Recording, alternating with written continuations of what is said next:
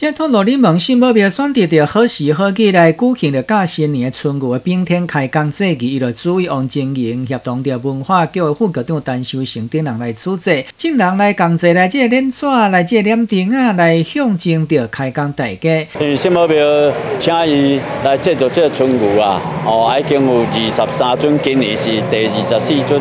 因为上个主要因为。春牛神这个看芒神啊，哦，色地哦清澈，大地拢无共。你看咱较早老祖先留来地安尼，所以欢迎大家来万人过春牛安尼，哦，来认识啊咱老祖先的地位安尼。为了传承着这项迎春牛的文化，今年首次伫新目标制作着春牛传统的工艺古纸保存者吴文进，连续为新目标制作了二十三尊的这春牛，讲每年将号召万人做回来做着春牛，希望伊着更有意义方式传承着春牛甲古纸的文化。甲将春牛的文化吼，继续伫咱迄个新目标的推广之下，会当愈来发扬光大吼。我相信这一百年以后，会当是咱台湾最重要一个春文化，嘛是咱敢若咱心目标有咧做这件。代志吼，啊，这咱注意，伊其实用足热心。同时，伫咱继续来推广之下，吼，这个春牛文化会当讲是除了台南足重要文化之外，嘛是台湾足重要文化资产吼。呃，春牛的精神，